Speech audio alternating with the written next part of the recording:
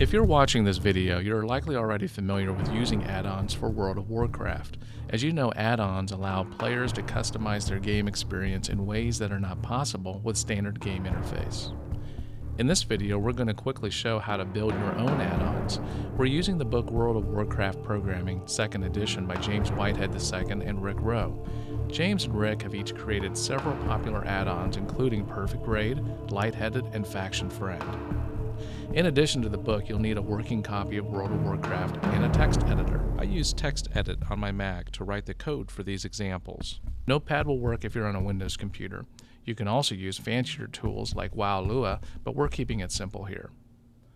We're following chapter 14 of the book in this example, building an add-on called Combat Tracker. We'll build the interface and put in some functionality, and when we're done, we'll have an add-on that shows damage received during combat.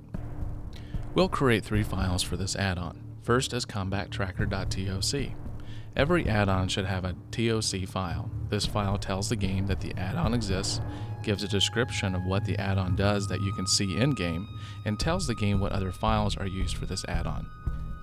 Inside combattracker.toc, we type the description of the add-on and the associated file names. Save the file into your World of Warcraft forward slash interface forward slash add-ons folder Inside a subfolder, you create named Combat Tracker. Now create two more files in that same directory with your text editor. These should be named combattracker.lua and combattracker.xml. If you were to log into the game now and go to your add-on selection screen, you would see Combat Tracker in the add-on list with the description you wrote in the combattracker.toc file. Okay, now it's time to start building. Open up the empty XML file. First, we'll add the UI tag to tell the game where to grab the XML schema. Everything in the XML file goes inside the UI tags.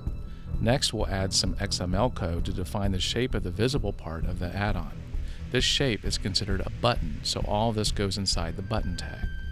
In the first part of the XML file, we're defining the size and position of the button. It's going to go under the mini map and we're going to make it movable. We'll add some more code to pick a background. For this example, let's use the standard dialog box background. Finally, we put in the font string code so that Combat Tracker will be able to display the data it receives from the Lua file. Save the XML file. If you log into the game at this point, you should see the Combat Tracker box appear under your minimap. When I tried this the first time, I did not see the box, which I later found to be the result of a couple of typos I made in the code. So type carefully and save yourself some debugging time. Now go back to the XML file and add in the script handlers. These will be needed to write the output of the Lua file to the button. Save and close combattracker.xml and open up combattracker.lua. The first bit of code we add will set our time and damage variables to zero. Then we'll add code that tells WoW to watch for combat to start or for clicks or drags on the button from the mouse. In the previous steps, we defined what would be the body, eyes, and mouth of a creature if we were building a creature, which we're not. Now we add the brains, the big chunk of code that will fire when combat starts, track damage, and do the math. Type very carefully here, a typo might take hours to track down unless you're awesome. All the number crunching is now done so it's time to add in the code that sends messages to the button. First, we add combat tracker underscore update text, which sends the numbers for length of time in combat, damage received, and DPS to the button. The last thing to add is the code that shares the combat statistics with your party. That's the function combat tracker underscore report DPS, which fires when you right click on the button.